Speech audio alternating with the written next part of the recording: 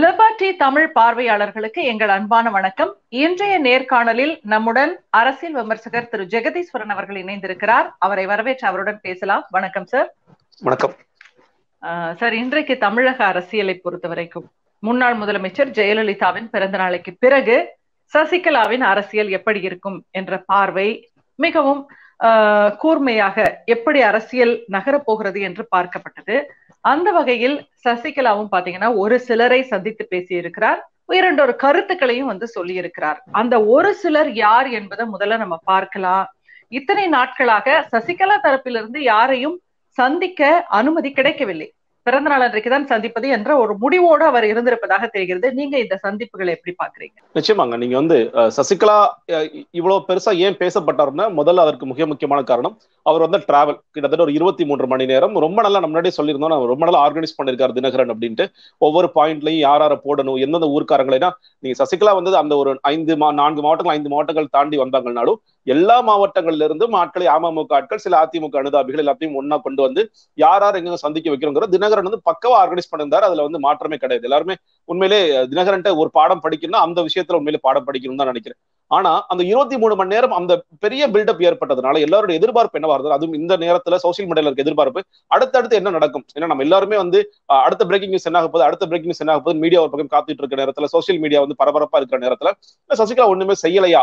இவ்வளவு பெருசா ஒரு பில்டப் கொடுத்து வந்தாங்க இன்னும் ஒன்னும் நடக்கலையான்னு தினகரன்டே கேட்கும் பொழுது இல்ல அவங்க இப்பதான் வந்திருக்காங்க ரெஸ்ட் எடுப்பாங்க கோவிட் காரணம் இருக்கு ஒரு வாரம் ஓய்வு எடுப்பாங்க அப்படிலாம் சொல்லிட்டு இருபத்தி நான்காம் தேதி அவங்க சில பிளான்ஸ் எல்லாம் வச்சிருக்காங்க அப்படிங்கிற மாதிரி சொல்லிட்டு இருந்தாங்க. சோ நம்ம எதிர்பார்த்தது மோடி அவர்கள் வருவதற்கு முன்னாடி சில விஷயங்கள் நடக்கும்னு சில பேர் சொன்னாங்க அது நடக்கல. மோடி அவர்கள் வந்து போன பிறகு அதிமுக அமமுக வேற வழியில மோடி வந்து ரெண்டு பேரும் இணையணும்னு நினைக்கிறாரு இல்ல பிஜேபி ரெண்டு பேரும் இணையணும்னு சொல்றாங்க அப்படிலாம் சொல்லி சில பேர் பேசினாங்க. ஆனா மோடி கொடுத்த சிக்னல் எடப்பாடியை வந்து கை தூக்கி பிடிச்சதும் ஓபிஎஸ் கை தூக்கி பிடிச்சதும் அடுத்த நாள் ஓபிஎஸ்ஏ வந்து இனிமேல் நான் ரொம்ப தீவிரமாக களப்பணி ஆற்ற போறேன் அப்படின்னு சொல்றது மூலியமாக. எடப்பாடி சொல்றதா இங்க நடக்குதோ ஒருவேளை எடப்பாடி இப்ப என்ன சொல்றாரு மோடி கிட்ட இல்ல சசிகலா நமக்கு வேண்டாம் அந்த தேர்தல்ல. அவங்க வந்தா கூட அது நெகட்டிவா தான் போயிட்டு அதனால வேண்டாம்னு சொல்லி எடப்பாடி சொல்றதை மோடி கேட்க ஆரம்பித்து விட்டாரோ என்று நமக்கு தெரியுது. சோ அந்த ஒரு ட்ராக் போயிட்டு இருக்கும் பொழுது நேற்று இப்போ சில பேர் ஓகே நிறைய பேர் சந்திக்க போறாங்க. இன்னும் சொல்ல போனா எப்படி இந்த தர்ம யுத்தம் நடக்கும்போது ஒரு பரபரப்பு ஏற்பட்டது சில எம்எல்ஏஸ் போனாங்க சில முன்னாள் அமைச்சர்கள் போனாங்கிற மாதிரி ஒரு பரபரப்பு இருக்குமான்னு பார்த்தா அந்த பரபரப்பு நேற்று இல்லைன்னு தான் நான் சொல்லுவேன். நீங்க ரொம்ப சில பேர் பார்த்தாங்க அதில் மாற்று கருத்தே இல்லை. நீங்க இந்த பாரதி ராஜா போய் பார்த்தாரு அமீர் பார்த்தாரு சீமான் அவர்கள் போய் கட்சி ரீதியாக பாத்தீங்கன்னா அரசியல் ரீதியாக சீமான் பார்த்தாரு சரத்குமார் பார்த்தாரு பி ஆர் விவசாய சங்க தலைவர் பி ஆர் பாண்டியன் பார்த்தாரு.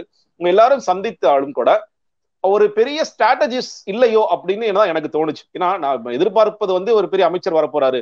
இல்ல இப்ப கரண்ட் அமைச்சர்ஸ் கூட வர மாட்டாங்க ஏன்னா இன்னும் தேர்தல் தேதி அறிவிக்கலாம் உங்களுக்கு ஒரு சிக்கல் ஏற்படலாம். ஆனா வேறு சில முன்னாள் அமைச்சர்கள் அதிமுக முக்கியஸ்தர்களாக இருப்பவர்கள் யாராவது சந்தித்திருப்பார்கள் அப்படிங்கிறத எதிர்பார்ப்பாக இருந்தது. ஆனால் அந்த எதிர்பார்ப்பு நேரத்தில் நடக்கவில்லைங்கிறத பாக்குறோம் நீங்க நல்ல டிஃபரன்ஸ் பாருங்களேன். இருபத்தி மூன்று மணி நேரம் இருபத்தி மூன்று மணி நேரம் வந்து அவங்க வரும் பொழுது அவங்க முன்னாடி வந்து செல்ஃபி எடுக்கணும்னு சொல்லி எவ்வளவு பேர் ஓடி வந்தாங்கன்னு நம்ம பார்த்தோம். நேற்று பாருங்க ரொம்ப சாதாரண மக்கள் தான். அவங்க எல்லாருமே வந்து இப்போ ரொம்ப ஈஸியா ரீச் பண்ற மாதிரி ரொம்ப ஈஸியா அக்சஸ் பண்ற மாதிரி ஆயிடுச்சு. அது என்னன்னு கேட்டீங்கன்னா ஒரு பெரிய இமேஜ் இருக்கு இல்லையா? அந்த இமேஜ் வந்து ஃபுல்லா உடஞ்ச மாதிரி எனக்கு தோணுச்சு. வந்து அவ்வளவு பெரிய இமேஜ் வந்து உடஞ்சதுக்கான காரணம் ஒருவேளை அவங்கள்ட்ட புதிய யுக்திகள் இல்லாம போயிடுச்சோ அப்படிங்கறத என்னுடைய பார்வையாக இருந்தது. சரி நீங்க வந்து புதிய யுக்திகள் வந்து சசிகலா தரப்பிடம் இல்லை என்று சொல்வதை நான் ஏற்றுக்கொள்ள விரும்பல. நான் கேள்வியை வேறு மாதிரி கேட்கிறேன். நீங்க பாத்தீங்கன்னா தினகரனை குறைத்து மதிப்பிட முடியாது. இன்னும் அவரிடம் இருந்து கத்துக்கணும்னு வேற நீங்க சொன்னீங்க. நம்ம அந்த இருபது ரூபாய் நோட்டெல்லாம் மறந்துட முடியாது. ஆர்கே நகர் இருபது ரூபாய் நோட்டெல்லாம் இன்னும் கூட அரசியல்ல பாத்தீங்கன்னா தேர்தல் களத்தில் என்ன மாதிரியான யுக்தியை பயன்படுத்தி வெற்றி பெற முடியும் என்று இரண்டு சசிகலாவாகட்டும் தினகரன் ஆகட்டும் ரெண்டு பேருமே அதுல வந்து பாலபாடம் படித்தவர்கள். நன்றாகவே தெரியும். அப்படி இருக்கும்போது இன்றைய தினத்தை ஒரு பிப்ரவரி இருபத்தி நான்கு என்பதை எப்படி கட்டமைக்க வேண்டும் என்பதும் அவர்களுக்கு தெரியும். இதை வந்து நீங்க சொல்வது போல ஒன்னும் பெருசா ஒன்னும் இமேஜ் இல்ல. ரொம்ப சாதாரணமா போயிடுச்சு அப்படின்ற அளவுக்கு வைத்தது ஏன்னு நினைக்கிறீங்க? அதுக்கும் ஒரு பின்னணி இருக்கணும். யாருமே அதிமுக தரப்பிலிருந்து வராததற்கும் ஒரு பின்னணி இருக்கணும். அது என்னவா இருக்கும்னு நீங்க நினைக்கிறீங்க? நிச்சயமா அதான். நீங்க இவங்க முயற்சி செஞ்சிருப்பாங்க. நீங்க வந்து அமைதியா இருந்தாங்க ரெஸ்ட் எடுத்தாங்கன்னாலும் சில பேர் கண்டிப்பா போன்ல பேசியிருப்பாங்க நீங்க வந்து ரொம்ப அமைதியாவே இருந்திருப்பாங்கன்னு சொல்ல முடியாது. போன்ல பேசியிருப்பாங்க சில பேரை கூப்பிட்டுருக்கலாம் வாய்ப்பு இருக்கு. இன்னும் சொல்ல போனா சில பேர் இப்ப சரத்குமார்லாம் முன்னாடி சந்திக்க முயற்சி பண்ணாருன்னு செய்திகள்லாம் வந்தது. ஆனா எல்லாரும் கொஞ்சம் காத்துட்டு இருங்க வெயிட் பண்ணுங்க. அவசரம் இல்ல. நான் இருபத்தி நான்காம் தேதிக்கு மேல சந்திக்கிறேன்னு சொல்லி சொல்லியிருந்தாங்க. இப்ப அந்த லிஸ்ட் வந்து நிறைய ஆயிருந்துச்சுன்னா ஓகே உண்மையிலே வந்து அதிமுக அமமுக குள்ள ஒரு குழப்பம் ஏற்படுது. இல்ல வந்து சசிகலா கிளைம் பண்ற மாதிரி அவங்க அதிமுக பொதுச் செயலாளர் நாளைக்கு யாருக்கான முயற்சிகள்லாம் இருக்கலாம் இல்ல பொதுக்குழு கூட்டலாம்னு நம்ம நம்ம வந்து பேச ஆரம்பிச்சிருக்கலாம். முடிவு பண்ணிக்கலாம் சொல்லும்போது பேச ஆரம்பிச்சிருக்கலாம். ஆனால் அதெல்லாம் நடக்கலன்னு சொல்லும் பொழுது எடப்பாடி அவர்கள் தன்னுடைய கேம்ப்ல இருக்கிற மினிஸ்டர்ஸையும் எம்எல்ஏவையும் அது வந்து அன்பாலையா இல்ல மிரட்டியா இல்ல என்ன சொல்லியோ அவரும் தக்க வைக்கிறார் தான் பார்க்க வேண்டியதா இருக்கிறது. நீங்க வந்து சசிகலா பக்கம் நீங்க போயிடக்கூடாது.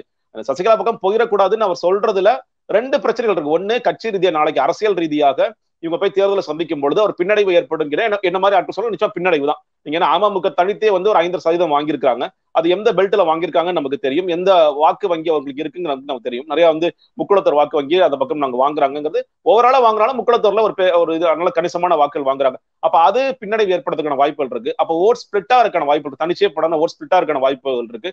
கிட்டத்தட்ட சசிகலா ஸ்பாய்லர் மாதிரி ஆனார்னா அது அது வந்து திமுகவுக்கு தான் வந்து பலமா மாறும். திமுகவுக்கு தான் அது ஆதரவாக மாறுவதற்கான வாய்ப்புகள் இருக்கு ஒரு பக்கம். ஆனா இன்னொரு பக்கம் வந்து எடப்பாடி அவர் எப்படி பாக்குறாருன்னா நம்ம சசிகலாவை உள்ள விட்டோம்னா அது வந்து அதிமுகவோ இல்ல அமமுகவோ ஏதாவது ஒரு ரூபத்துல உள்ள விட்டோம்னா நமக்கு வந்து இங்க சிக்கல் ஆகிடும் அது வந்து ஜெயிச்சாலும் சரி தோற்றாலும் சரி. நம்ம வந்து கட்சிக்குள்ள மறுபடியும் நம்ம வந்து அடிபணிந்து இல்ல கீழ்பணிந்து போக வேண்டிய ஒரு நிலைக்கு நம்ம தள்ளப்படலாம். தோற்று போயிட்டோம்னா நம்ம நிலைமை இன்னும் மோசமாயிடும். கட்சியில வந்து நம்ம இருப்போமா இல்லையான்னு கூட நமக்கு தெரியாது. நாளைக்கு ஒரு பொதுக்குழு கூட்டி எடப்பாடி வந்து கட்சியை விட்டு தூக்குங்கன்னு சொல்லி சொன்னாங்கன்னா அதுவும் இங்க வாய்ப்பு இருக்கு. ஏன்னா அந்த அதிமுகங்கிற கட்சிகள் நம்ம எல்லா கட்சிகளும் பார்த்திருக்கோம். நீங்க வந்து ஒரே ஒரு நேரத்துல அம்மா பெரியம்மா சின்னம்மா எல்லாமே சொல்லிருக்காங்க இப்ப பொன்னையன் போன்றவர்கள் அங்க இருக்கிற வரைக்கும் சின்னம்மா சின்னம்மான்னு சொல்லிட்டு சின்னம்மா பெரியம்மான்னு சொன்னாரு. எல்ஐசி பாலிசி எல்லாம் எடுத்துட்டு வந்த அம்மாவோட உண்மையான வார் சின்னம்மான்னு சொல்லி சொன்னாரு. அடுத்த ஒரு அரை மணி நேரத்துல இந்த பக்கம் வந்து சின்னம்மா இல்ல சசிகலான்னு சொல்லி பேசினாருங்கிற பார்த்தோம். இவரு சி வி சண்முகம் அமைச்சர் என்னெல்லாம் பேசினாரு? அம்மா எல்லாம் கிடையாது. எங்களுக்கு ஒரே ஒரு அம்மா தான். அவங்க சின்னம்மா மட்டும்தான் சொல்லி பேசினாரு அவர் இன்னைக்கு என்ன வார்த்தைகள் பேசுறாருன்னு நமக்கு தெரியும். வந்து தினகரன் தான் எங்களுக்கு ஊத்தி கொடுத்தாரா? அப்ப நீ தான் எங்களை குடிக்க வச்சியா? அப்படிங்கிற அளவுக்கு எவ்வளவு கீழ்த்தரமா பேசுறாருங்கிறத பாக்குறோம் இந்த கேம்ப்ல இருக்கிறவங்க அவ்வளவு ராணுவ கட்டுப்பாடெல்லாம் சொல்லுவாங்க. ஆனா யாருக்குமே வந்து அந்த அளவுக்கு பெரிய சுயமரியாதை எல்லாம் அவங்களுக்கு கிடையாது.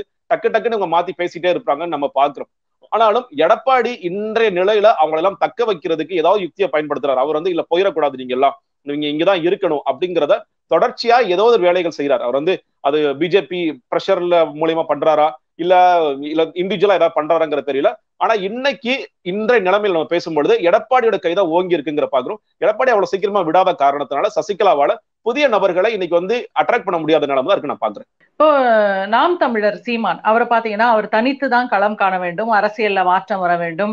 இன்னும் நிறைய அவர் பேசுவாரு மேடைகள்ல அதையெல்லாம் கேட்டிருக்கோம். அவர் போய் சசிகலாவை சந்தித்ததை நீங்க எப்படி பாக்குறீங்க அதாவது புதிதாக ஒரு மூன்றாவது அணி என்ற அடிப்படையில் தான் இந்த சேர்க்கை இந்த சந்திப்புகள் நடைபெறுகிறது என்றுதான் பல பேரும் புரிந்து கொள்கிறார்கள். உங்களுடைய பார்வையில சீமானின் அரசியல் நிலைப்பாட்டை எப்படி நீங்க பாக்குறீங்க நிச்சயமாக சீமான் வந்து கொஞ்சம் கொஞ்சமா வளர்ந்து வருகிறார். நீங்க அரசியல் இதுல பார்க்கும் பொழுது ஒரு பர்சன்டேஜ் ரெண்டு பர்சன்டேஜ் இன்னைக்கு ஒரு மூணே முக்கால் பர்சன்டேஜ் வரைக்கும் வளர்ந்து வந்திருக்கிறாருன்னு பாக்குறோம் இன்றுமே வந்து அவரை ஏதாவது ஒரு கூட்டணிக்குள்ள இழுப்பதற்கான பேச்சுகள் நடந்துட்டு இருக்கு. இன்னும் சொல்ல போனா இப்ப கமல்ஹாசன் தன்னுடைய பொதுக்குழு கூட்டத்துல சீமான் சரத்குமார் போன்றவர்கள் இங்க வரணும் அப்படிங்கறத சொன்னார். ஒருவேளை அதை அவங்க தப்பா புரிஞ்சுக்கிட்டு அமமுக போயிட்டு போயிட்டாங்களான்னு எனக்கு தெரியல. ஆனா அவங்க எல்லாம் நீங்க வரணும்னு சொல்ல சொல்றாரு. அப்ப சீமானுக்குன்னா ஒரு வேல்யூ வந்து தொடர்ச்சியா ஏறிட்டு இருக்குங்கிற பாக்குறோம் ஆனால் அவர் என்ன சொல்றாருன்னா ஒவ்வொரு முறையில நான் தனிச்சுதான் களம் காண போறேன். நான் வந்து ஒரு மாற்று நானே ஒரு பெரிய மாற்று சக்தி. தமிழ் தேசியம் பேசுகிற இப்ப திராவிட அரசியலை வெறுக்கிற ஒரு ஒரு மாற்று அப்படிங்கிறத முன் வச்சுட்டே இருக்காரு.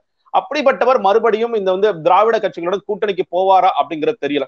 நேற்று அவர் போனாரு. நம்ம எல்லாரும் எதிர்பார்த்தோம். நீங்க இன்னும் சொல்ல போனா நேற்று போன மிக முக்கியமான தலைவர்களை அரசியல் ரீதியான முக்கியமான தலைவர் கிட்ட சீமான் தான் சொல்லு சரத்குமார் கூட அடுத்தபடியா தான் வருவார் நான் பாக்குறேன். சீமான் தான் வருவார். அப்ப ஆனா அந்த சீமான் அவர்கள் வெளியே வந்து செய்தியாளர் சந்திச்ச மாதிரி எனக்கு தெரியல. நம்ம தொடர்ச்சியா ஊடகங்களை கவனிச்சுட்டே இருந்தோம். சீமான் செய்தியாளர் சந்திக்கல. அப்ப உண்மையிலேயே அவர் எதற்கு போய் சந்திச்சாருன்னு தெரியல. இப்ப பாரதி ராஜா வந்து சந்திக்கும் பொழுது அவர் சில வார்த்தைகள் சொன்னாரு. சரத்குமார் சில வார்த்தைகள் சொன்னார். பாரதி ராஜா சொல்லும் போது வீர தமிழச்சி அப்படிலாம் சொல்லி சொன்னாரு. சரத்குமார் வந்து நன்றி மறப்பது நன்றன்று. நான் வந்து பத்து வருஷமா அவங்க கூட பழக்கத்துல இருக்கோம். அதனால நாங்க வந்து அவ்வளவு ஈஸியா அவங்கள மறந்துட முடியாது. அதனால அந்த காரணத்துக்காக நான் வந்து சொல்றேன்னு சொல்லி சொல்றாரு. இன்னொரு பக்கம் இதே சரத்குமார் எங்களுக்கு வந்து சரியான சீட் நம்பர் கொடுக்கல அப்படின்னா நாங்க வந்து எல்லா தொகுதியிலும் போட்டிடுவோம்னு சொல்லி சொல்லிட்டு இருக்காரு. அப்ப அது கூட பொலிட்டிக்கல் ரீதியா சரத்குமாரோட மீட்டிங் கூட முக்கியம்னு நினைக்கிறேன். ஆனா சீமான் அவர்கள் எதற்கு வந்தார் அப்படிங்கிறது தெரியல. அது என்ன கணக்குங்கிறது அவர் ஒருவேளை பேசி இருந்தா தெரியும். இல்லாட்டி இது கொஞ்சம் கொஞ்சமா போறதுக்கான வெளியே வரதுக்கான வாய்ப்புகள் இருக்குன்னு நினைக்கிறேன். ஆனால் இதே சீமான் அவர்கள் நீங்க ஜெயலலிதா அவர்களையும் சசிகலா அவர்களையும் ஏ ஒன் ஏ டூன்னு விமர்சித்து பேசாத சில மேடைகளை பேசியிருக்காரு. நம்ம அதையும் சேர்த்து தான் பார்க்கணும். இது வந்து ஏ ஒன் கொள்ளைக்காரினால் ஏ டூ எல்லாம் சேர்ந்துதான் இந்த இந்த மொத்த தமிழ்நாட்டையுமே குட்டிச்சவராக்குனது பேசுனதெல்லாம் சசிகலாவுக்கு தெரியாது தெரியாதா? அதையும் கேட்டு விட்டு தானே அவங்க வாங்க சந்திக்கலாம்னு சொல்றாங்க. அரசியல் நேற்று பேசியதை இன்று நினைவில் வைத்துக் கொள்ள கூடாது அப்படிதான் பாக்கணும் நீங்க பிரேமலதா விஜயகாந்த் அவர்களும் பாத்தீங்கன்னா முதலில் சசிகலாவுக்கு ஆதரவு தெரிவித்தது அவர் வரட்டும் வரவேற்பு என்றெல்லாம் வந்து பேசினது அவங்கதான். அதனால இதை வந்து ஒரு மூன்றாவது அணியா தான் நிறைய பேர் வந்து பாக்குறாங்க இல்ல அதாவது என்ன வித்தியாசம் நான் சொல்றேன்னா இப்ப பிரேமலதா விஜயகாந்த் தேமுதிகங்கிற கட்சி நீங்க ரெண்டாயிரத்தி பதினாறுல இருந்தே வந்து கூட்டணி மாறி போக ஆரம்பிச்சிட்டாங்க. நீங்க வந்து அதிமுக கூட கூட்டணி வைக்க ஆரம்பிச்சிட்டாங்க. அப்புறம் வந்து பிஜேபி கூட கூட்டணி போனாங்க. மக்கள் நாளை கூட்டணி போனாங்க. இப்ப கூட்டணி மாறி மாறி வைக்க ஆரம்பிச்சிட்டாங்க. அவங்க மேல நீங்க வந்து ஆமா இது நேத்து வரைக்கும் ஒரு மாதிரி பேசுவாங்க மாறி பேசுவாங்க. ஆனால் சீமான் அவர்கள் ஒரு மாற்றுன்னு சொல்லி சொல்லிட்டு இருக்காரு நான் வந்து இந்த ரெண்டு கட்சிகளுக்கும் மாற்று. நான் தனிச்சு தான் போவேன். மேபி அடுத்த தேர்தல் வேணா என்னோட ஸ்ட்ராட்டஜியை மாத்துவேன் தவிர நான் தனிச்சு தான் இருப்பேன்.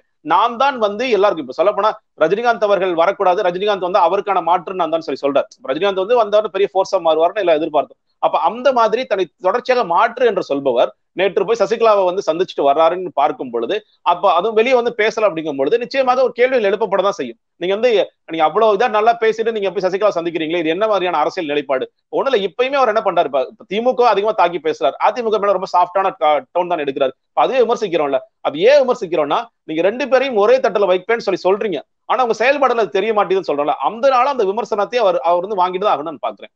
இப்போ இதையெல்லாம் தாண்டி நீங்க பார்க்கும்போது பாத்தீங்கன்னா ஏற்கனவே நம்ம முன்பு எம்ஜிஆர் மறைவுக்கு பிறகு அதிமுக இரண்டாக பிளவுபட்டு மீண்டும் ஒன்றாக இணைந்தது. அதாவது ஒரு தேர்தலில் தான் யார் பலம் வாய்ந்தவர்கள் யாருக்கு கூடுதல் சதவிகிதம் வாக்கு கிடைக்கிறது என்று பார்த்து கட்சி வந்து அவங்க கட்டுப்பாட்டுக்குள் வந்ததை நம்ம கடந்த காலத்துல இதே அதிமுக பார்த்திருக்கோம். இன்றைக்கும் அதே போன்ற ஒரு நிலைமை வந்திருக்கிறதா? தேர்தலுக்கு பிறகு யாருக்கு அதிமுகவினரின் செல்வாக்கு யாருக்கு அதிகமாக இருக்கிறது என்று பார்த்து கட்சி அவங்க கட்டுப்பாட்டுக்கு போகும்னு நினைக்கிறீங்களா? ஒருவேளை அப்படிப்பட்ட சூழல் ஏற்பட்டதா நீங்க நினைக்கிறீங்களா? ஆமாங்க. அந்த அந்த வரலாறு அவங்களுக்கு ஏற்கனவே இருக்கிற காரணத்தினாலதான் இன்னைக்கு வந்து அதிமுகவும் அமமுகவும் ஒன்று சேரணும். இல்ல அதிமுக அமமுக கூட வார்த்தை விடலாம். சசிகலாவோ தினகரன் எடப்பாடி எல்லாம் ஒண்ணு சேரணும்னு எல்லாரும் குறிப்பாக அதிமுக தொண்டர்கள் நினைப்பதற்கான ஒரே ஒரு முக்கியமான காரணம் அவங்களுக்கு வரலாறு இருக்கு. ஜே எண்ணி ஜானியா பிரிந்த பொழுது திமுக அதிகமான இடங்களில் ஜெயித்தார்கள். அதுக்கு பிறகு நம்மளால ஒண்ணு சேர்ந்த பிறகுதான் நம்மளால வெல்ல முடிந்தது. அப்ப மறுபடியும் வரலாறு கற்றுக் கொடுத்த பாடத்தை நம்ம ஏன் திரும்பவும் படிக்கணும்னு விரும்புறோம் அப்படிங்கிறதா பல பேருடைய கேள்விகளாக இருக்கிறது. ஆனா இன்னைக்கு அதை வந்து சசிகலா நிறைய உணர்றாங்கன்னு நான் நினைக்கிறேன். சசிகலா உணர்கிற காரணத்தினால்தான் நீங்க வந்து பெங்களூர்ல இருந்து வரும்பொழுதே நம்ம வந்து திமுக தான் நமக்கு எதிரி. நம்ம எல்லாரும் வந்து ஒன் ஒற்றுமையா இருக்கணும்னு சொல்லி சொன்னாங்க. நேற்று கூட ஜெயலலிதா அவரோட பிறந்த நாள் அவங்க மறுபடியும் அதை வலியுறுத்துறாங்க. நம்ம எல்லாம் ஒன்றாக இணைந்து நாம் இந்த தேர்தலை சந்திக்க வேண்டும். ஜெயலலிதா அவருக்கு உண்மையான விசுவாசிகள் எல்லாம் ஒன்றிணை வேண்டும் அவர் சொல்வதன் மூலியமாக நான் ரெடி நான் வந்து சமரசத்துக்கு ரெடின்னு சொல்லி சொல்றாங்க. மறுபடியும் அந்த சமரசம்ங்கிறது எந்த அளவுக்கு அதாவது எடப்பாடி பழனிசாமி அவர்கள் வந்து முதலமைச்சராக வைத்துக் கொள்ளக்கு ரெடியா இல்ல நான் வந்து கட்சியில வந்தால் கூட பொறுப்பே எடுத்துக்க மாட்டேன். நான் வந்து நான் சும்மா தேர்தல் பிரச்சாரம் மட்டும் பண்ண போறேன் அப்படிங்கிற அளவு எந்த அளவு எந்த அளவிற்கு சமரசத்துக்கு ரெடி அவ்வளவு சமரசத்துக்கு ரெடியானா கூட எடப்பாடி அவர்கள் இல்ல இல்ல எதுவுமே வேண்டாம் எங்களுக்கு. நீங்க வந்து கட்சியில பொறுப்பு வேணாம்னு சொல்லுங்க நானே முதலமைச்சர் சொல்லுங்க. அப்படி இருந்தால் கூட நான் உங்களை ஏற்றுக்கொள்ள தயாராக இல்லை அப்படிங்கிற நிலைமையில இருக்காரு. ஏன்னா எடப்பாடி யோசிக்கலாம். இன்னைக்கு வந்து சைலண்டா உள்ள வருவாங்க. நாளைக்கு இதெல்லாம் அந்த காட்சிகள்லாம் மாறுங்கிற பயம். ஏன்னா அவருக்கு தெரியும் நம்ம சசிகலா வந்து நம்ம இப்ப ரீசெண்டா பார்த்தாலும் எடப்பாடி போன்றவர்களுக்கு ரொம்ப நாள் சசிகலா அவர்களுக்கு தெரியும் ஓபிஎஸ் அவர்கள் சசிகலாவை தெரியும் அப்படிங்கிற அவங்களுக்கு அப்ப அந்த சமரசத்திற்கு இவர்கள் ரெடியா இருந்தாலும் எடப்பாடி தொடர்ச்சியாக முட்டுக்கட்டை போடுகிறாருங்கிற பக்கம் இன்னொரு பக்கம் இன்னைக்கு பாஜக தரப்புலையும் பார்க்கும் பொழுது தொடர் அவங்க யாருமே சசிகலாவுடைய வருகையோ இல்ல இன்னைக்கு வரைக்கும் விமர்சனம் பண்ணாம இருக்காங்க. அவங்களுக்கு என்ன யோசிக்கிறாங்கன்னா நாளைக்கு வந்து தென் மாவட்டங்கள்ல நமக்கு வந்து சீட்டு கிடைக்குது. நம்ம வந்து அதிமுக சீட்டு கொடுக்குறாங்க அப்படின்னா நம்ம அதிமுக கூட்டணியில மட்டுமே இருந்தா நம்ம வெல்வதற்கு வாய்ப்புகள் கடினம். அமமுகவும் இருந்தால்தான் நமக்கு வந்து அந்த வாக்கள் சேர்த்து கிடைக்கும் அப்படின்னு சொல்றது அவங்க ஒரு ப்ரெஷர் பண்றாங்க நிச்சயமா. மோடி அதை எடுத்துக்கிறாரா எடுத்துக்கலாங்கிறது தெரியல. நமக்கு சென்ட்ரல் பிஜேபி என்ன நடக்குன்னு தெரியல. ஆனா தமிழக பிஜேபியில அந்த மாதிரி கருத்து ஓடுது. நமக்கு வந்து நிச்சயமாக அமமுக உள்ள கொண்டு வரக்கு பாருங்க. எல்முருகன் கூட வந்து தினகரனோட பேசுறதுக்கு முயற்சி பண்றாரு அப்படிங்கிற செய்திகள்லாம் வந்துட்டு இருக்கதை பார்க்கிறோம். அப்போ இந்த இந்த பாடத்தை நீங்க வந்து வரலாறு ஏற்கனவே ஒரு பாடம் கத்துக் கொடுத்திருக்கு. அது இன்னைக்கு மறுபடியும் அதை செய்யணுமா செய்ய வேண்டாம்ங்கிறதுல இப்ப எடப்பாடி வந்து இல்ல வேணவே வேணாம்னு நினைக்கிறார். அப்ப இது வேணாம்னு நினைச்சு தேர்தல் வரைக்குமே இது ரெண்டு பேரும் சேரலன்னு முடிவாயிடுச்சுன்னா நீங்க சொல்ற மாதிரி இப்ப என்ன ஆகும்னு கேட்டீங்கன்னா அதிமுக அமமுக பிரிஞ்சு நிற்பாங்க. அவங்க ரெண்டு பேரும் பிரிஞ்சு நிக்கிற காரணத்தினால ரெண்டு பேருமே கணிசமான இடங்களை வாங்குவாங்க. அதிமுக ஒரு நாற்பது ஐம்பது இடங்கள் வாங்குறாங்கன்னா இவங்க ஒரு இருபது இடங்கள் வாங்குறாங்க அப்படின்னா எல்லாருடைய பேச்சு என்னமா இருக்குன்னா சசிகலா எவ்வளவு முயற்சி பண்ணாங்க. நான் வந்து எல்லாரும் ஒருதாய் பிள்ளையா இருக்கலாம்னு சொல்லி சொன்னாங்க. ஜெயலலிதாவுக்கு ஒன்றுன்னு சொன்னாங்க. ஆனா அந்த எடப்பாடி தான் கேட்காம விட்டாரு. அப்ப அது தவறு. நம்ம எல்லாரும் இப்ப ஒண்ணு சேர வேண்டிய கட்டாயம் இருக்கு. நம்ம இப்ப ஒண்ணு சேருவோம் அப்படிங்கிற நிலைமை நடப்பதற்கான சாத்தியம் வாய்ப்பு வாய்ப்புகள் நிச்சயமாக இருக்கிறது. அது அது நீங்க சொல்ற மாதிரி அது அதுக்கு அது வந்து காலம் அப்படிதான் நிர்ணயிச்சோம்னா அது நடக்கும் தான் நான் பார்க்கிறேன். சரி அதை இன்னொரு கோணத்துல நம்ம வந்து பார்க்க வேண்டி இருக்குது இன்றைக்கு அதிமுகவை பொறுத்தவரை பாஜகவின் அரசியல் கணக்குகள் அவர்களின் அழுத்தத்திற்கு உட்பட்டு தான் அவர்கள் முடிவெடுக்க வேண்டிய ஒரு சூழல் ஏற்பட்டிருப்பதாக நாம் பார்க்கிறோம். அதே சமயத்தில் மேலிடம் விரும்பினால் இந்த இரு தரப்பும் இணைய வேண்டிய ஒரு கட்டாயம் இருக்குது. அதை தாண்டி ஒரு கணக்கு என்பது மூன்றாவது அணி ஒருவேளை அமைந்தால் இது போன்ற கட்சிகள் தேமுதிக இன்னும் சரத்குமார் கட்சி சீமான் இவர்கள் எல்லாம் இது போன்ற சிறு சிறு கட்சிகள் எல்லாம் ஒன்றாக இணைந்தால் ஒரு குறிப்பிட்ட சதவிகித வாக்குகள் அல்லது ஒரு சில இடங்களை அவர்கள் வெற்றி பெறக்கூடிய வாய்ப்பு இருக்கு. நம்ம பாக்குறோம் தனியரசு போன்றவர்கள் கருணாஸ் எல்லாம் தனிப்பட்ட செல்வாக்கு அவர்களுக்கு இருக்கிறது. இது போன்றவர்களை ஒன்றிணைத்து ஒரு சில தொகுதிகளை கையில் ஜெயித்து வைத்துக் கொண்டால் ஒரு பெரும்பான்மை கிடைக்காத நிலை ஏற்படும் போது இவர்கள் தான் யார் ஆட்சி அமைக்க வேண்டும் என்ற ஒரு நிலை வரும். அப்படி ஒரு நிலை ஏற்படுமா என்ற ஒரு பார்வை இருக்குது. அது நடப்பதற்கான சாத்தியங்கள் இருக்குதா நீங்க நினைக்கிறீங்களா? இல்லங்க இப்போ நம்ம இவங்க ரெண்டு பேரும் தெரிஞ்சு நிக்கிறாங்க. இன்னும் சொல்ல போனா இப்ப சேர்ந்து நின்றால் கூட நான் பாக்குற வரைக்கும் அரசியல் நோக்கரா பாக்குற வரைக்கும் திமுக வெற்றி வந்து தடுக்க முடியுமாங்கிறது எனக்கு பெரிய கேள்விக்குறியா இருக்கு. சீட்ஸ் குறையும் நான் பாக்குறேன் இப்போ வந்து இன்னைக்கு இன்னைக்கு ரேஞ்சுக்கு வந்து சொல்றீங்கல்ல அதை அதை நோக்கி தான் இது இந்த மூன்றாவது அணி அமைவு என்பது இருக்குமான்னு நான் கேக்குறேன் இல்ல அதுதான் சொல்றேன். நீங்க அந்த சீட்ஸ் குறையும் நான் சொல்றது ஸ்டில் வந்து டிஎம்கே மெஜாரிட்டி வருவதற்கான வாய்ப்பு எல்லாம் இன்னைக்கு எனக்கு தெரியுது. அவங்க வந்து ரொம்ப ஈஸியா ஒன் எயிட்டி கிராஸ் பண்ணிடுவாங்கன்னு தான் தோணுது. இப்ப இவங்க ஜெயிக்கிற இந்த கணிசமான தொகுதிகள் இப்ப நீங்க சொல்ற மாதிரி இருபது இருபத்தஞ்சு தொகுதியில் கூட அமமுக தனிச்சு நின்று ஜெயிக்கணும்னு சொல்லி சொல்றேன். அந்த சீட்ஸ் வந்து நிச்சயமாக ஆட்சி அமைப்பதற்கான ஒரு சீட்டா இருக்க போறது இல்லைன்னு நான் பாக்குறேன். அவங்க ஆதரவு கொடுத்தோ இல்ல அவங்களோட ஆதரவு விளக்குனா வந்து இந்த ஆட்சி அமையாது அப்படிங்கிற மாதிரியோ இல்ல ஒரு ஹங் அசம்பிளியோ வருவதற்கான வாய்ப்பு இருக்கிற மாதிரி நான் எனக்கு தெரியல. எதற்கு இது பயன்படும் கேட்டீங்கன்னா முன்னாடி சொன்ன மாதிரி நாளைக்கு கட்சியை வந்து கைப்பற்றுவதற்கு இல்ல கட்சியை ஒன்றாக இணைப்பதற்கு இது வந்து நடப்பதற்கான வாய்ப்புகள் இருக்குன்னு நினைக்கிறேன். இன்னொன்னு இன்னைக்கு எழுந்திருக்கிற மிக முக்கியமான கேள்வி இது இப்ப இந்த நடக்கல இந்த இணைப்பு நடக்கலன்னா சசிகலா யாராக இருக்க போகிறார்? அவர் அதிமுகவாக இருக்க போகிறாரா? அல்லது அமமுக இருக்க போகிறார்னு ஒரு கேள்வி எழும். இப்போ ஒரு பக்கம் நீங்க விருப்ப மனு அதிமுக வாங்குறாங்க. விருப்ப மனு வாங்கி எல்லாருக்கும் சீட்டு கொடுக்குறாங்க. எடப்பாடி ஓபிஎஸ் செங்கோட்டை வேலுமணி தான் நிக்கிறாங்க. இப்போ மறுபடியும் சசிகலா அவர்கள் நான் அதிமுகவுக்காக வாக்களிக்க வந்திருக்கேன்னு சொல்லி சொன்னா அவங்க ரெட்டைலைக்கு எப்படி வாக்களிக்க வாக்கு கேட்க முடியும்? அவங்க இவங்களை எதிர்க்கிறாங்க. அது ஒரு குழப்பத்து குழப்பமான நிலைக்கு எட்டிடும் இன்னொரு தினகரன் அவர் சொல்றாரு இல்லையா? இப்ப வந்து அமமுகங்கிற ஆர்கனைசேஷன் எதுக்கு நான் ஆரம்பிச்சேன்னா அதிமுக கைப்பற்றுவதற்குன்னு. இதே வரிய சசிகலாவும் சொல்ல வேண்டிய கட்டாயம் ஏற்படலாம். அவங்க இன்னைக்கு சொல்றாங்களா அதிமுக பொதுச்செயலாளர் சொல்றாங்க இன்னைக்கு சிட்டி சிவில் கோர்ட்ல அந்த வழக்கு மறுபடியும் தூசி தட்டுங்க நீங்க வழக்கு விரைவுபடுத்துங்கன்னு சொல்லி சொல்றாங்க நாம பொதுச்செயலாளர் அவங்க கிளைம் பண்ண முயற்சி பண்றாங்க. ஆனா இந்த நிலை நீடித்தால் தேர்தல் தேதி அறிவித்த பின்பு நீங்க வந்து கேம்பெயினுக்கு போகணுங்கிற நிலைமை ஏற்படும் பொழுது இல்லை நான் அமமுகவிற்கு தான் வாக்கு கேட்க வந்துள்ளேன். நான் இதன் மூலியமாக அதிமுக கைப்பற்ற முயற்சி செய்கிறேன்ங்கிற வார்த்தையை சசிகலாவும் உபயோகப்படுத்த வேண்டிய கட்டாயம் வரும் நான் பார்க்கிறேன். சரி அப்படி ஒரு வேளை வந்து ஒரு கட்டாயம் ஒரு சூழல் ஏற்பட்டால் அதிமுக தொண்டர்கள் யார் பக்கம் இருப்பாங்கன்னு நினைக்கிறீங்க? ஏன்னா முதலமைச்சராக இருக்கக்கூடிய எடப்பாடி பழனிசாமி அவர்கள் பேசாத ஒரு விஷயம் இன்னும் நூறு ஆண்டுகளுக்கு அதிமுக ஆட்சி இங்கு இருக்க வேண்டும். அதிமுக என்ற ஒரு கட்சி இருக்க வேண்டும் என்று முன்னாள் முதலமைச்சர் ஜெயலலிதா பேசியதை குறிப்பிட்டு சொல்றாங்க. இதை வந்து இவர் சொல்லும் போது அதன் வலு இன்னும் அதிகமாவே இருக்கு. அதை நீங்க எப்படி பாக்குறீங்க? நிச்சயமாங்க. அதாவது அடுத்த எப்படி போகும்னு கேட்டீங்கன்னா ரிசல்ட்ஸுக்கு அப்புறம் எல்லாருடைய பேச்சை எப்படி மாறும்னா நம்ம சசிகலாவுடைய பண்ணுவோம் ஓட் பர்சன்டேஜ் நம்ம பார்க்க ஆரம்பிச்சிடும் ஓகே திமுக கூட்டணி இவ்வளவு சதவீதம் வாங்கியிருக்காங்க அதிமுக இவ்வளவு சதவீதம் அமமுக சதவீதம். இப்ப அதிமுகவும் அமமுகவும் ஒன்றாக இணைந்திருந்தால் நம்ம வந்து இன்னும் இன்னும் நிறைய ஜெயிச்சிருக்கலாம். நம்ம வந்து வலுவான எதிர்கட்சியாக மாறிக்கலாம் இல்ல ரொம்ப க்ளோஸா வந்திருக்கலாம் அப்படிங்கிற பேச்சு ஆரம்பிக்கும் பொழுது நமக்கு நல்ல லீடர்ஷிப் இல்ல. சசிகலா தான் அந்த லீடர் இப்போ இப்ப அந்த அதுதான் அதை நோக்கி தான் போகும். இப்ப எல்லாருமே முதல்ல வந்து முன்னாடி இணைஞ்சிருவாங்க அப்படின்னு நிறைய பேர் எதிர்பார்த்தோம். ஆனா அது நடக்கல அப்படிங்கும் பொழுது இது நடக்கல அதிமுக தொண்டர்களோட பார்வை நீங்க சசிகலாவை கட்டாயமா நீங்க சேர்த்துட்டு தான் ஆகணும். வேற வழி இல்ல. அப்ப ஸ்பிளிட் ஆகும். நீங்க ஏன்னா இப்ப பதவியில இருக்கிற வரைக்கும் ஒரு முதலமைச்சராக இருக்கும் போது அவர் கண்ட்ரோல் பண்றது வேற. பதவியில கிடையாது. நான் வந்து கட்சியில வந்து துணை ஒருங்கிணைப்பாளர் ஒருங்கிணைப்பாளர் கூட துணை ஒருங்கிணைப்பாளர் தான். அப்போ ஓபிஎஸ் எடுக்கிற முடிவுகள் கூட முக்கியமானதாக மாறும். இபிஎஸோட ரோல் வந்து இன்னும் கம்மியாகவும் ரொம்ப டம்மி கூட ஆகிறதுக்கான வாய்ப்புகள் இருக்கு. அப்ப அந்த நேரத்துல தொண்டர்களுடைய ஒட்டுமொத்த குரல் இல்லை சசிகலாவை நீங்கள் ஏற்றுக்கொண்டுதான் ஆக வேண்டும். அப்ப இன்னும் அவங்களுக்கும் ஈஸி நீங்க வந்து ஜெயிச்சுட்டு இல்ல ஒன்னா சேர்ந்து ஜெயிச்சுட்டு பண்றதை விட ஜெயிக்காம தோத்துட்டு இந்த கட்சியை கைப்பற்றுவது சசிகலா அதை நோக்கி தான் அவங்க போறாங்கன்னு நினைக்கிறேன். சசிகலாவும் இந்த கட்சியை கைப்பற்றுவதற்கு பரவாயில்ல. எப்படி ஜெயணி ஜானியில வந்து இல்ல நம்ம தோத்தாலும் பரவாயில்ல அப்புறம் கட்சியை கைப்பற்றலாம் ஜெயலலிதா நினைச்சிருப்பாங்களோ அதே மாதிரி இன்னைக்கு சசிகலா அவர்களும் அந்த மாதிரியான ஒரு யுக்தியை நோக்கி தான் போறதுக்கான வாய்ப்புகள் இருக்கு நான் பாக்குறேன் சரி ஒருவேளை சசிகலாவின் நோக்கம் கட்சியை கைப்பற்றுவது என்றால் அன்றைக்கு என்ன நடந்தது என்று பார்க்க வேண்டும். உடனடியாக திமுக ஆட்சி கலைக்கப்பட்டு தேர்தல் வந்தவுடன் தொன்னூற்றி ஒன்றில் ஜெயலலிதா ஆட்சியை பிடிக்கிறார். இந்த கட்சியை வலுப்படுத்துவதற்கு அந்த ஒரு ஐந்து ஆண்டுகள் அவர்களுக்கு உதவியாக இருந்தது. ஆனால் நீங்கள் சொல்வது போல ஒருவேளை இது போன்ற வாக்குகள் பிரிந்து இது இந்த முடிவு திமுகவுக்கு சாதகமாக அமைந்து விட்டால் ஐந்து ஆண்டுகளில் அந்த கட்சியை பலப்படுத்த முடியுமா வலுப்படுத்த முடியுமா என்ற ஒரு கேள்வி இருக்கிறது. இடைப்பட்ட காலத்தில் பாஜகவின் திட்டம் என்னவாக இருக்கும் அப்படின்னு சொல்லுங்களேன். நீங்க ரொம்ப கரெக்டான கேள்வி கேட்டீங்க. அதான் நீங்க அவங்க ஒன்றிணைந்தால் கூட அன்றுக்கும் இன்றைக்கும் உள்ள மிகப்பெரிய வேறுபாடு பாஜக. பாஜக வந்து நம்ம இப்ப இன்னைக்கு ஒரு செய்தியில வந்திருக்கு. பத்து மாநிலங்கள்ல எப்படி வந்து கட்சிகளை காலி பண்ணாங்க. லிட்டரலா கட்சியை காலி பண்ணாங்க. அதை வந்து பல நேரங்கள்ல நம்ம பாஜக காங்கிரஸ் முக்து பாரத் காங்கிரஸ் இல்ல பாரதம்னு சொல்லி சொல்றாங்க. அது உண்மை கிடையாது. அவங்கள பொறுத்த வரைக்கும் கட்சிகளே இல்லாத பாரதம். பாஜக தவிர எந்த கட்சிகளும் இருக்கக்கூடாதுங்கிறது ரொம்ப தீவிரமா வேலை பார்த்துட்டு இருக்காங்க. அவங்க இன்னைக்கு முன்வைக்கிற கோஷம் கூட இரண்டாயிரத்தி இருபத்தி ஆறு தேர்தலில் இந்த இந்த தேர்தல் கிழமை திமுக அகேன்ஸ்ட் பாஜக மாறணும்னு பாக்குறாங்க. அப்படி இருக்கும் பொழுது இவங்க ஒருவேளை சசிகலா ஒருவேளை ஒண்ணு சேர்றாங்க ஒண்ணு சேர வேண்டிய கட்டாயம் ஏற்படுது அப்படின்னா இவங்க பாஜக இல்லாமல் பாஜகவோட கழட்டி விட்டுட்டு இந்த தேர்தலில் இந்த இந்த அரசியல் கடத்தை தொடர்ச்சி பயணிக்க முடியுமா அப்படிங்கிறது ஒரு கேள்விக்குறிதான் உண்மையிலேயே. நாளைக்கு வந்து இல்ல பாஜக வேணாம்னு சொல்லி இவங்க பண்றாங்க அப்படின்னா இவர்கள் மேல எல்லா வழக்குகளும் பாய்வதற்கு தயாராக இருக்கிறது. இப்ப கூட ஆட்சியில இருக்கிறாங்க எடப்பாடி பழனிசாமியோ ஓபிஎஸ்ஓ வேலுமணி தங்கமணி எல்லாம் தப்பிச்சிட்டு இருக்கலாம். நாளைக்கு ஆட்சியிலும் இல்ல ஒரு எம்எல்ஏக்களா மட்டும் இருக்கிறவங்க மேல இந்த வழக்கு போடுறது வழக்கு துரிதப்படுத்துறது எல்லாமே ஈஸியாக மாறிடும். அப்படி இருக்கும் பொழுது ஐந்து வருடங்களில் அடுத்த ஐந்து வருடங்களில் இந்த கட்சியை பலமாக மாற்றுவதுங்கிறது பெரிய சிம்மசப்பனமாகத்தான் இருக்கும். இன்னும் சொல்ல போனா கட்சியை உயிர்ப்பா தக்க வைக்கிறதே பெரிய காரியமாக மாறலாம். ஏன்னா இப்ப நம்ம பாக்குறோம் இன்னைக்கு பாஜக பல்வேறு யுக்திகளை பயன்படுத்துறாங்க.